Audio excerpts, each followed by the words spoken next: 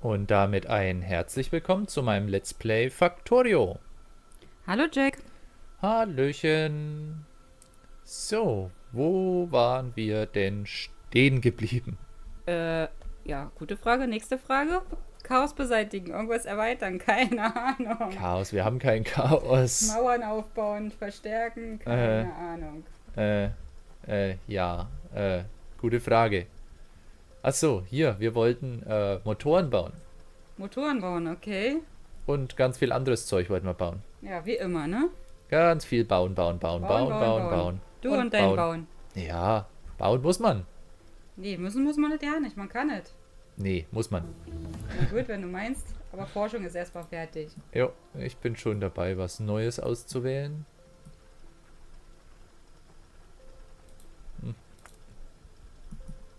So.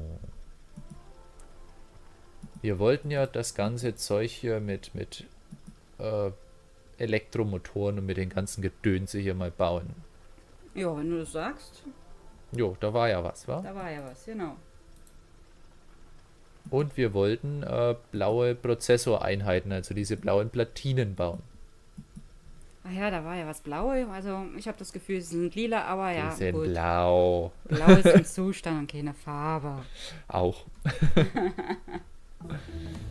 so, gucken wir doch erstmal, wie wir diese Motoren da bauen.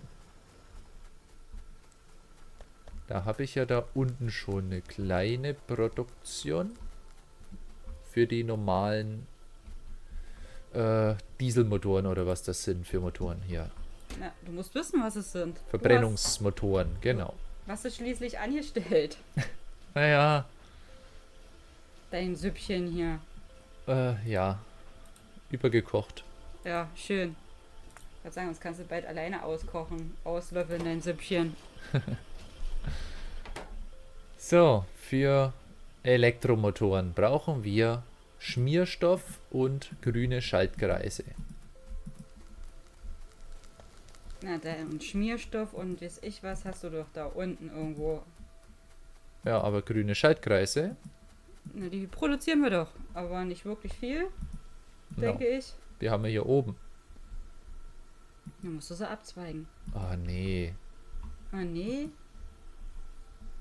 Das funktioniert doch nicht. Wie, wie soll man denn da schon wieder ein Band von da oben bis da ganz nach unten legen? Nee. Tja, lass dir was einfallen. Hier oben musst du noch ein bisschen was bauen. Was muss ich da denn bauen?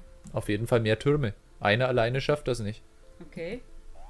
Weiß zwar nicht, was, wo du jetzt oben meinst, aber ich werde schon. Da, wo es blinkt. Ach, da. Gut. Und möglichst zeitnah. Du mich nicht. Ich bin. Alter, oben ist kein B-Zug. Hopp, hopp, hopp, hopp, hopp. Wir sind hier in Factorio, da wird gearbeitet nicht so vorlaut. Industrienation weltweit hier Nummer 1 Factorio. Hm, Umweltverschmutzung Nummer 1, würde ich genau, sagen. Genau, die Produktion muss laufen. So. In unserem Chaos hier mal durchsehen. Ich weiß ja nicht, wo ich jetzt hinwatscheln muss. Na, nicht weit weg von mir, da oben.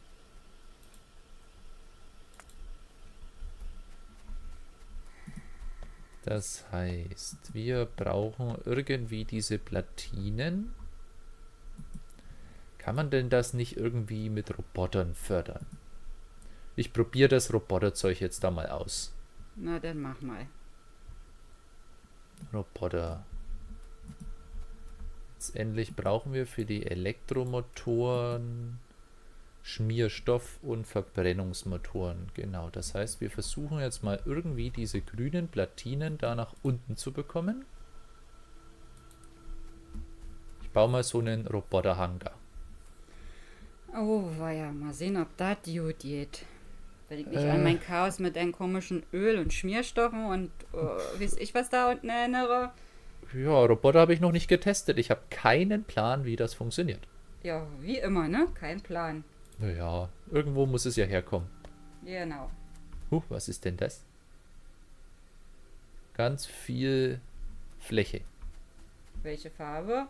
Äh, gelb, orange, grün oder was das sein könnte. Wo ist was? Wer ist innen, wer ist außen? Ne, wenn ich so einen Roboterhangar bauen möchte. Ja. Dann habe ich einmal so einen Orangenkreis oder Viereck und einmal so ein grünes Viereck. Ja, was innen, was ist außen? Außen ist grün. Okay, na dann ist äh, wahrscheinlich der orange Bereich auf dem, auf, äh, in dem Bereich, wo der auf jeden Fall von sich da irgendwie beliefern kann und grün, keine Ahnung. Ja, keine Ahnung, genau. Ich stelle das jetzt einfach mal so dahin. Dann hat das ja jetzt hier Platz. Roboter. Roboter. Muss ich jetzt Roboter auch noch bauen oder sind die da schon drin? Wahrscheinlich musst du sie bauen. Logistikroboter. Äh, Da brauche ich Flugrobotergestelle.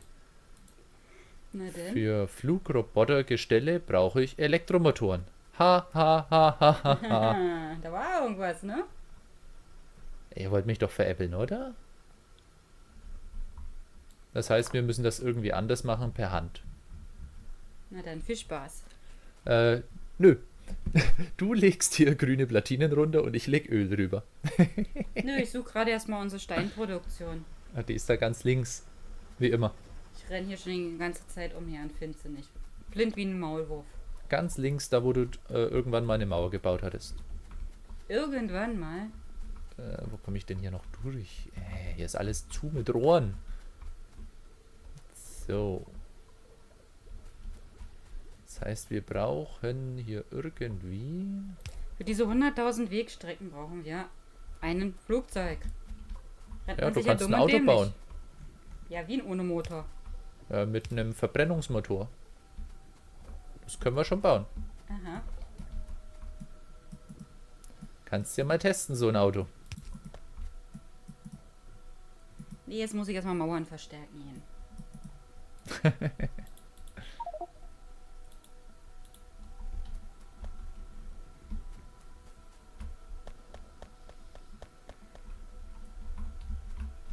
so, wo produzieren wir Stahlträger?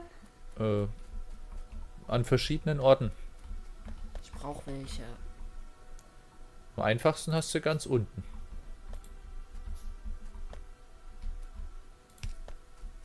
So, wo muss ich denn hin? Da runter muss ich irgendwo. Zack.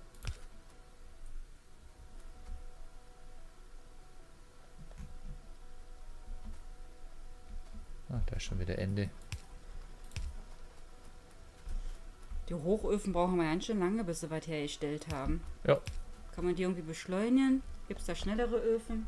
Nein, das sind schon die hochmodernsten. Die sind aber langsam. Naja, da muss ja erstmal Stahl geschmolzen werden. Das dauert ein bisschen, bis das schmilzt. Ja, dann müssen wir es heißer machen. Ja, immer mach mal. Wenn es dir zu lange dauert, dann musst du mehr davon bauen.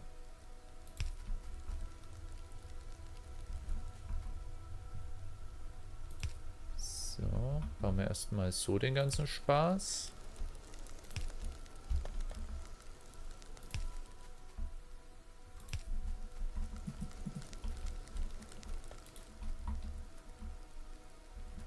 Dann haben wir doch hier schon mal miep, miep. Ach, diese Miep, Miep, Miep geht mir auf den Nerven. Oh, wir sollten vielleicht irgendwie mal Aliens ausrotten gehen, wa? Viel Spaß dabei.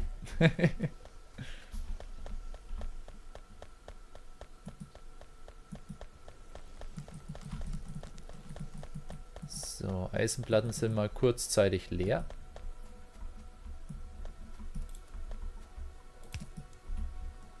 So, Schmierstoff läuft jetzt schon mal darüber. Zack, Schmierstoff.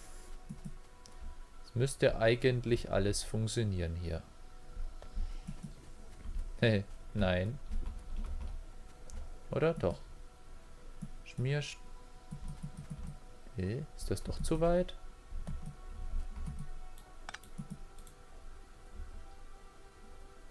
Ja, das ist zu weit. Ach Mann. So, jetzt haben wir Schmierstoff. Eh, lass mich durch.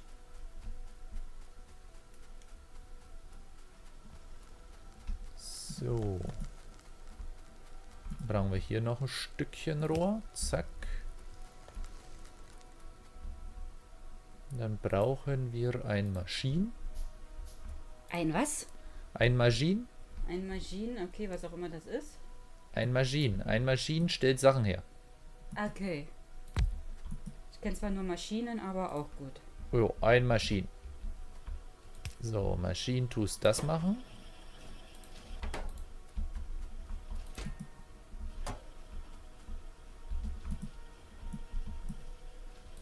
Haben wir erstmal genug drin. Das heißt, die packen wir jetzt da rein. Und jetzt machen wir, wo sind sie denn? Elektromotoren. Dazu brauchen wir jetzt da oben den Anschluss fürs Öl.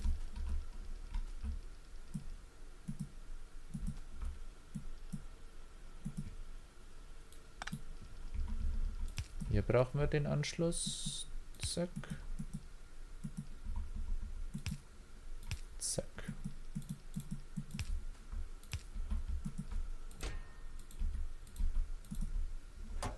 So.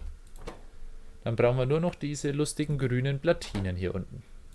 Seit wann sind Platinen lustig? Ja, seit jetzt. Okay. Die packe ich jetzt einfach mal per Hand da rein.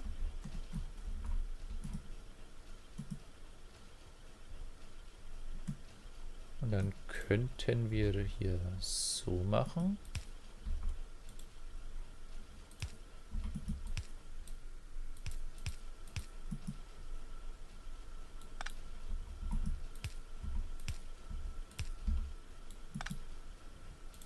Setzen den hier erstmal um. Zack. Und dann haben wir unseren ersten Elektromotor. Yeah! Ed Funz, nur noch nicht automatisch. Okay. So, und jetzt versuchen wir irgendwie mit diesen Robotern hier die grünen Platinen hier runter zu bekommen. Gucken wir mal. Du wirst das hinkriegen. Äh, kein Plan. Wie immer. So. Ich weiß zwar jetzt nicht, was der Unterschied ist zwischen diesen orangen und grünen Bereich, aber wir werden es schon rausbekommen. Ja. Wie heißt das so schön? Ausprobieren geht über Studieren. Ja. So, hast du mal noch einen Motor fertig hier? Freund Schnürschuh, zwei Stück. Bauen wir doch mal einen Flugroboter. Und das heißt, ich müsste jetzt Logistikroboter bauen können. Bauroboter brauchen wir jetzt nicht. Nee, wir wollen ja nichts bauen, wir wollen Logistiken. Logistikieren. Du möchtest bitte was? Logistikieren. Äh, okay, was auch immer das ist. Dann brauchen wir, ich weiß zwar nicht, ob es richtig ist, einfach mal logischerweise eine Anforderungskiste darunter. Passive Anbieterkiste. Stellt seinen Inhalt Anforderungskisten, Baurobotern und dem Spieler zur Verfügung. Fordert Gegenstände vom Logistiksystem an. Ja. Langzeitlager für das Logistiksystem. Okay, dann machen wir mal hier eine Anforderungskiste. Wo schießen die denn jetzt schon wieder? Da, wo es blinkt. Machen hier elektrisch 200 und einen Arm. Dann braucht der ganze Käse hier noch Strom. Ach herrje, ob das funktioniert. Du wirst das schon hinbekommen. Ja, Vertrau dir da voll und ganz. ich mir auch. so, muss ich die Roboter jetzt dann noch irgendwie reinstecken? Ja. Keine Ahnung. Verfügbare 2. Die zirpen so schön. Machen die. Okay. Erinnert mich so ein bisschen an R2D2. Okay. So, und jetzt brauchen wir äh, stellt passive Anbieterkiste. Was ist der Unterschied zwischen einer passiven Anbieterkiste und einer aktiven Anbieterkiste? Hm. Aktiv heißt für mich, dass ich da was rausnehmen kann. Und passiv heißt nur reinlegen. Keine Ahnung. Nee, Anbieter. An, also die bieten ja irgendwas an, diese Kisten. Aber was ist der Unterschied zwischen aktiven Anbieten und passiven Anbieten? äh. Steht da nichts bei, wenn er mit der Maus drauf geht? Nein. Stellt seinen Inhalt Anforderungskisten, Baurobotern und dem Spieler zur Verfügung. Und das steht bei beiden. Dann musst du es austesten, keine Ahnung. Juhu.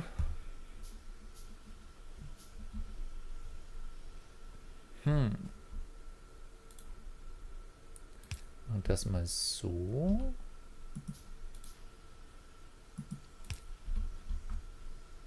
Zack. Und jetzt stellen wir da so eine passive Anbieterkiste hin. Kommt ihr Roboter, holt's euch. Los! Nö. Machen sie nicht. Machen sie nicht. Wenn ich jetzt eine aktive Anbieterkiste dahin stelle, tut sich da was anderes?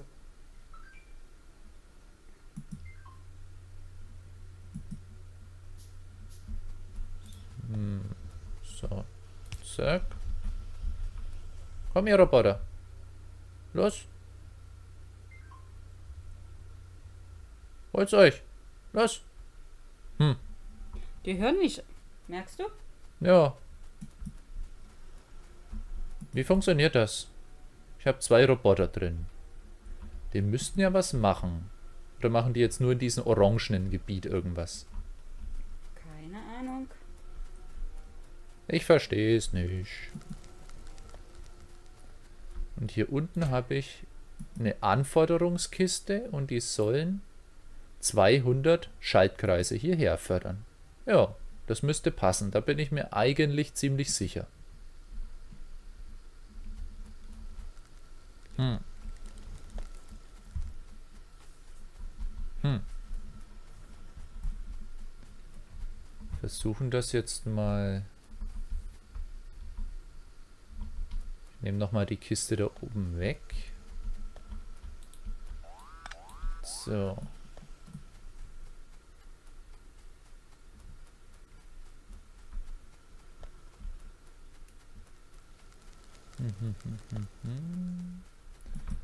Die nehmen wir auch nochmal weg. Jetzt versuche ich das nochmal in diesem orangenen Gebiet, ob da sich was anderes tut. Tun tutet. Tuten tuten der Nachtwächter, wusstest du das nicht? Nee. So, wir bauen eine Anforderungskiste. Wir brauchen eine aktive Anbieterkiste. Anfordern tun wir 200 Platinen. Da legen wir Platinen rein. Und etfunst. Na, dann ist doch gut. Die machen das wirklich nur in diesem orangenen Gebiet. Okay. Das ist ja dämlich. Nö. Das ist genial. Nee, nee das ist zu klein. Baue ich ja 5000 solche Roboterstationen.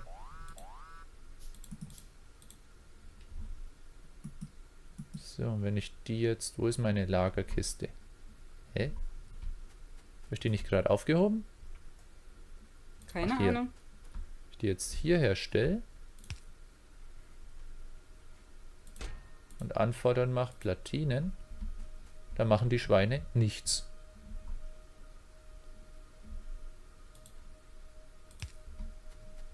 So, wenn ich jetzt das so mache,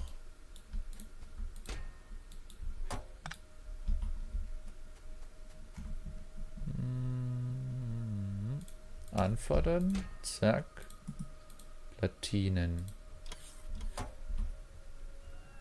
Jetzt wuseln die dahin und wuseln dahin.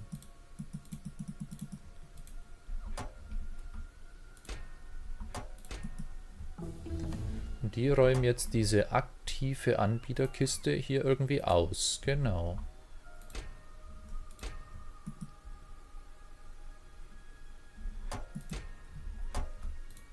Aber warum nehmen die jetzt nur aus der aktiven und nicht aus der passiven Anbieterkiste was raus?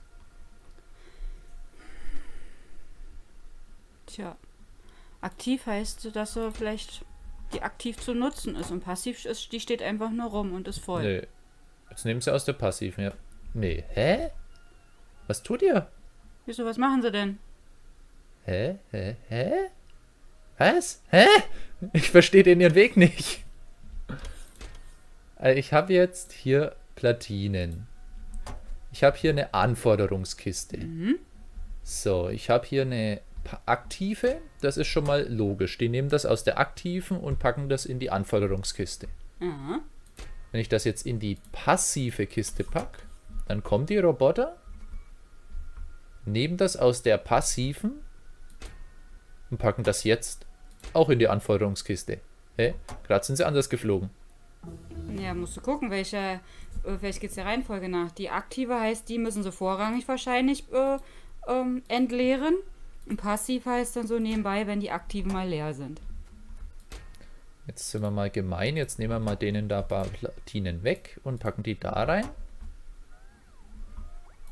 Ja, jetzt fliegen sie zur aktiven und nicht mehr zur passiven. Naja, also aktiv, wenn aktiv voll ist, das heißt das für die, diese komischen fliegenden Dinger da, ich muss erst das leer machen und dann die Akt, äh, passiven. Aber jetzt fliegen sie ja schon wieder zurück zur Stadt. Ach, die, die laden sich auf, die werden leer. Ah! Mhm. Dann verstehe ich aber noch nicht den Sinn und Zweck des grünen Rahmens. Also die arbeiten ja nur im orangenen Rahmen. Hm. Vielleicht ist der grüne Rahmen äh, übergreifend, wenn du nochmal so eine komische Industriedingsbums da oder wie das Ding da hieß baust. Und so, vielleicht zusammenhängend. Das heißt, wenn ich das jetzt mal ganz... Uh, da brauche ich eine Menge Schaltkreise.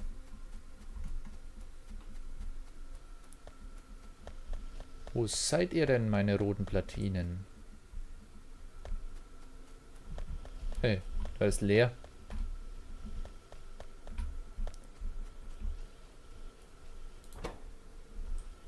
Wir haben keine roten Platinen mehr. Okay. Wieso, weshalb, warum? Was fehlt da? Eisen. Wir haben kein Eisen mehr. Wir haben kein Eisen mehr? Hier oben kommt kein Eisen mehr an. Ganz wenig. Die ersten zwei Maschinen produzieren nur noch. Sind da unten schon wieder irgendwelche Eisenvorkommen leer? Keine Ahnung. Ich muss erst mal gucken, wo was ist. Oh, hier ist das halbe Band leer mit Eisen. Hier kommt. Hier laufen nur vier Hochöfen noch von der Produktionskette hier. Da läuft ja gar nichts mehr. Was ist denn hier schon wieder defekt? Hast du da wieder was umgebaut? Nee weil da äh, wenig äh, am Fließband ankommt. Ja, hier ist kein Eisen mehr. Auf der Kette hier. Auf der. Ja. Das sind nur noch 1, 2, 3, 4, 5, 6, 7, 8 Erzförderer.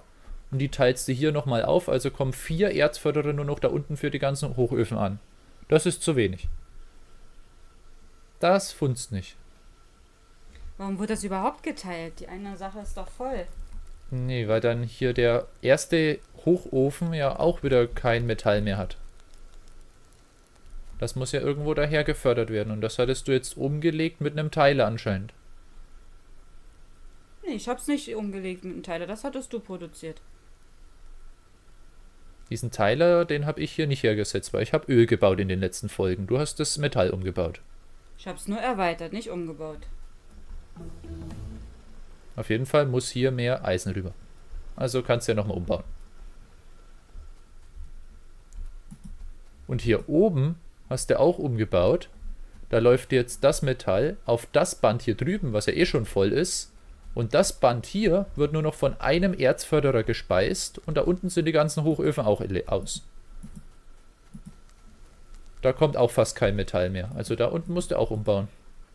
Ja, Hei, Deswegen haben wir kein Metall mehr. Deswegen haben wir keine Platinen mehr. Deswegen haben wir gar nichts mehr.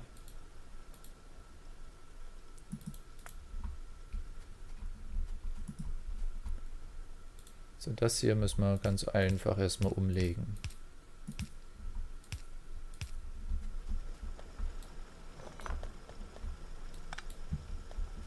Weg da, das mach ich. Jo, kannst du machen. Ja, was hast du jetzt da gebaut? Jetzt sehe ich nicht mehr durch. Ich habe einfach nur das Band hier, hier rüber gelegt, dass hier zumindest die Schmelzen schon mal wieder was zu tun haben. Und das Band hier kann weg. Du hast meinen Plan durcheinander gebracht. Ich habe nur das, das Band nicht mehr hier rüber, sondern hier runter, wo es hingehört. Und das muss weg, wo du jetzt wegreißt. Genau, das muss komplett weg.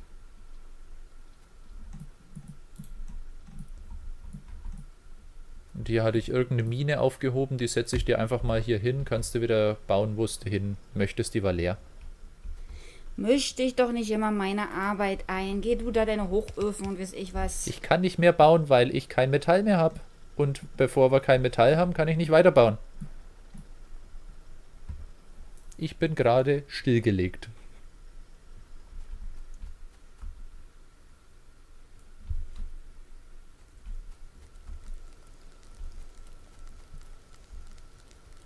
Jetzt kommt hier unten wieder ein bisschen mehr Metall an.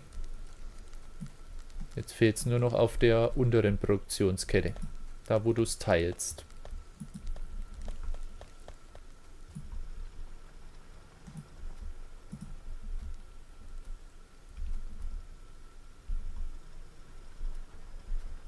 Äh, das funktioniert hier auch nicht, was du jetzt hier gebaut hast.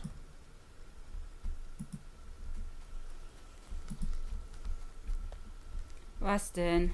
Hier, der Teiler. Der ist sinnlos, weil das linke Band ja schon voll ist. Das linke Band hier wird ja gefördert durch die Erzförderer und das rechte, das ist leer. Also für mich ist das linke voll, ja. Genau. Was nach unten geht und das teilt ab, um das rechte mit aufzufüllen. Ja, die rechte Hälfte des Bandes, die ist ja komplett leer. Ja. Und den Teiler, den du da jetzt hingebaut hast, der füllt ja die linke Hälfte des Bandes, das eh schon voll ist. Das heißt, der Teiler teilt da quasi mehr oder weniger fast sinnlos. Geh du woanders hin, ich werde mir da schon was einfallen lassen. Zisch weg. Ich kann nichts machen, weil ich Metall brauche. Trotzdem zisch weg, das ist meine Aufgabe. ja, dann mach.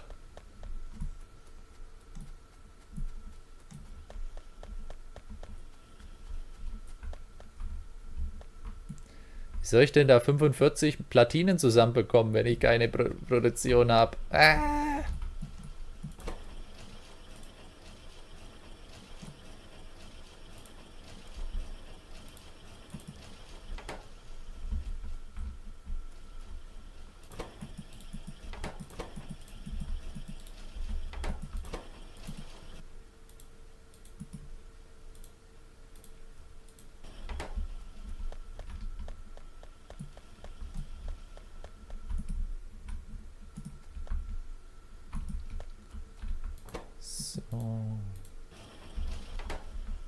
Müssen wir den ganzen Spaß irgendwie mit der Hand produzieren.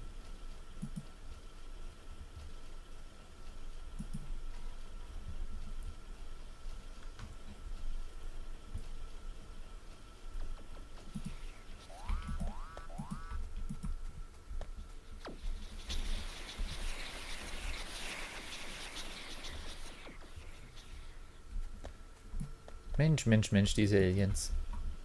Schieß sie weg. Das ich machen unsere mich hier in meiner Meditation. Du sollst nicht meditieren, du sollst arbeiten. Ja, ich arbeite und muss hier mich konzentrieren.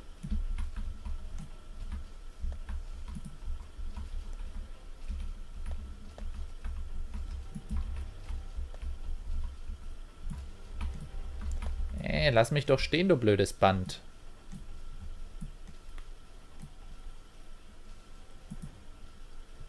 So. Na gut. Wir sind schon wieder am Ende einer Folge. Schon wieder? Jo, Ach nö, ich bin gerade so bei, so schön zu produzieren wieder. kannst ja weiterbauen. Wir nehmen dann einfach noch eine Folge auf. Okay, ausnahmsweise. Gut. Ich verabschiede mich schon mal. Wenn es gefallen hat, lasst ein Däumchen da. Und wir sehen uns dann zur nächsten Folge Factorio wieder. Macht's gut. Tschüss.